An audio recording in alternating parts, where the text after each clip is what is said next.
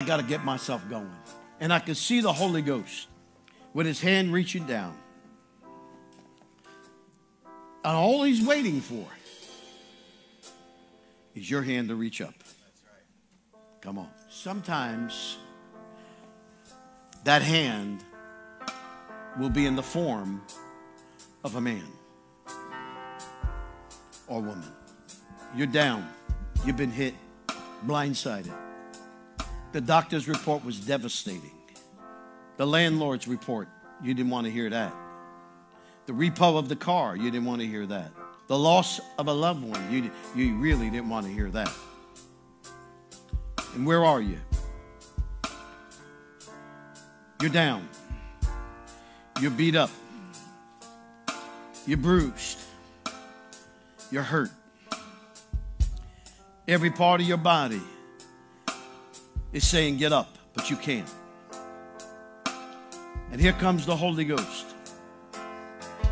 reaching down, saying, I'm going to pick you up. Just reach out to me. Give me your hand. Put your hand in mine. And you do because you love the Lord. And you have all to do to get one leg up because you're battered, you're bruised, you're hurt. But then all of a sudden, out of nowhere, that strength starts to come. You're up on your feet like that newborn giraffe. But the Holy Ghost nudges you, pushes you, and you take that first step. It's called getting up. And the part of the body that's bruised and hurt is now getting over it. Watch this, church. But it never got to your mind. Because your mind, it's what's going to tell you to get going. And then all of a sudden, Romans 12, 1 and 2 comes to you. Your mind has been transformed. All of a sudden, Second Corinthians 5 17 says, Old things are passing away. Everything is becoming new. And now your mind is thinking different. Now your mind is being reformed and restored. And because your mind is being strengthened, the bruises, emotional bruises, are now being removed. Now you're up on your feet. A little wobbly because you've been beat up. A little beat up because you just can't push yourself to get over it. You're to that point, and God's saying, I'm going to get you going. I'm going to get you going. Watch this now, church. After everything is said and done, you start now to run the race. But I can't do it. But you feel an urge behind you. You feel something that's taking place behind you. It's called goodness. It's called mercy that's following you. And He's pushing you. I can't go another day, Lord. I'm so stressed out. I can't can't move another another step. But here's the Holy Ghost nudging you and nudging you like a mother nudges her newborn, like a giraffe nudges her newborn, like a deer nudges her newborn to get them far away from the enemy's jawbone. And all of a sudden, hallelujah, I'm getting going now. I'm moving a little faster. I'm getting myself going. I'm moving a little faster. I'm getting going. I'm getting going. I'm getting going. Can somebody help me go? I'm getting going. All of a sudden, look what the Lord has done. All of a sudden, I'm running the race. I'm planning on finishing. I'm planning on not looking back.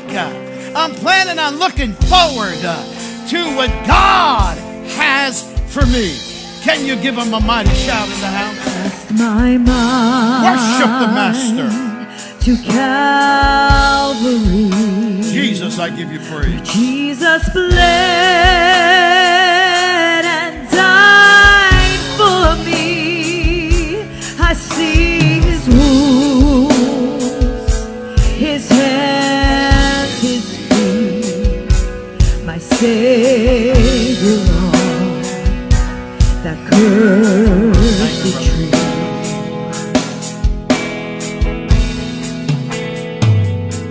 his body bowed and drenched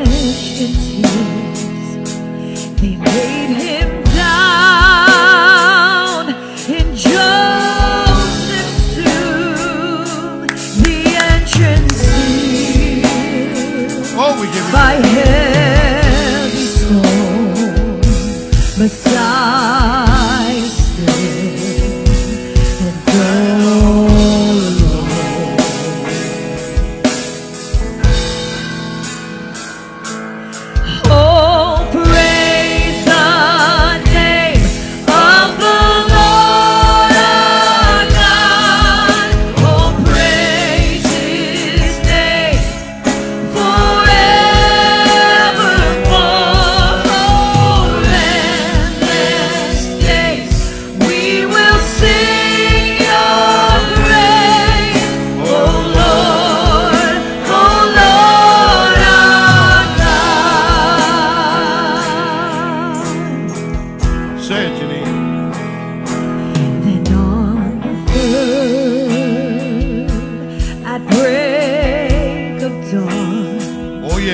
the Son of Heaven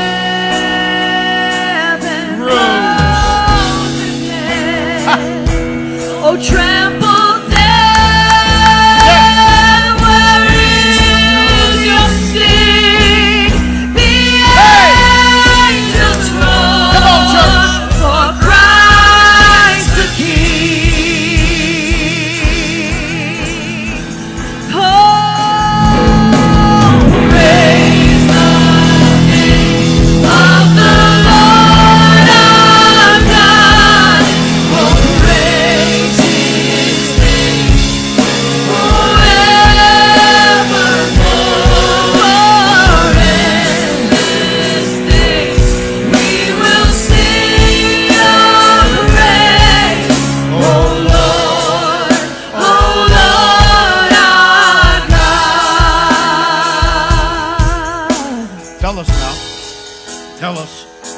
He shall return. Yes, he shall.